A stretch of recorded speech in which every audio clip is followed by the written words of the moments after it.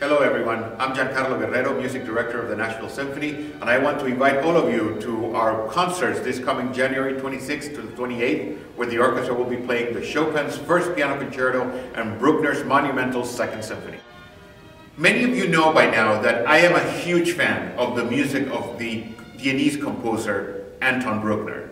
And one of the reasons that Bruckner is so attractive to me is because of the sonorities.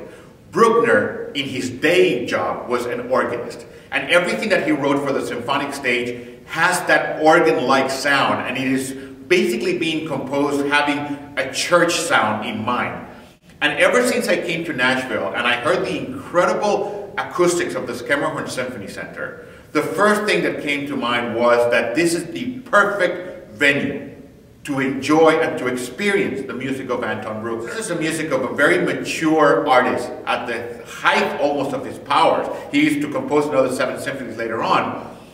You see there's a lot of expansion in his music. And this is music that you need the proper venue to be able to appreciate. And going back to what I said, this is music that is full of beautiful sonorities. And when you hear it, you can almost see Bruckner himself sitting at the organ, choosing which sounds to showcase, whether it's the strings or the wind. Particularly, he had special interest in the brass instrument. And I can tell you that brass players always love playing the music of Bruckner because it requires so much depth and so much big sound that it gets to showcase the beautiful sonorities that brass instruments can produce.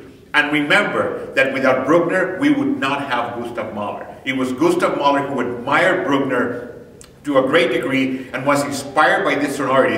And in many ways, along with Bruckner, Wagner, and Gustav Mahler, they were the ones that established the sonorities, rich romantic sonorities of the German music of the latter part of the 19th